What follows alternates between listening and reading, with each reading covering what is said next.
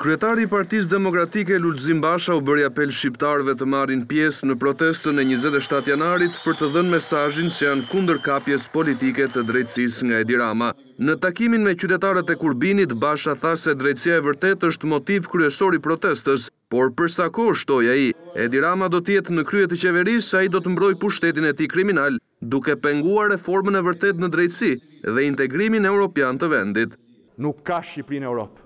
e s'mund të ketë Shqipëri në Europë, pa një drejtësi që nuk i mbron,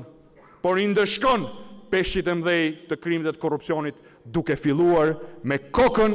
e kupolës mafioze Edi Ramën dhe shpurën e tij të ministrave të korruptuar. Basha tha se emërimi i një prokurori politik në kundërshtim me Kushtetutën dhe pa veting, është projekt i Edi Ramës për të mbrojtur Saimir Tahirin, me të cilin e bashkon pakti mafioz i heshtjes për ruajtjen e pushtetit. I tmerruar nga drejtësia e pakapur politike, Edi Rama po bën gjithçka ta abortojë projektin e drejtësisë për shqiptarët. Kjo është një arsye kryesore dhe një nga arsyet më të mëdha pse do të mblidhemi më njëzet e shtatë janar në orën dymbëdhjetë të shtunën për t'i thënë Edi Ramës se Partia Demokratike do drejtësi,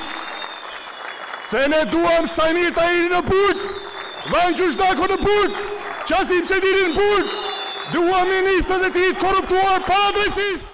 Kreu i opozitës u shpreh se një qeveri antimafia do të garantojë zgjedhje legjitime, me parlament dhe qeveri të ligjshme, që nuk e blen pushtetin, por e përdor atë për zhvillimin e vendit dhe mirëqenien e shqiptarëve.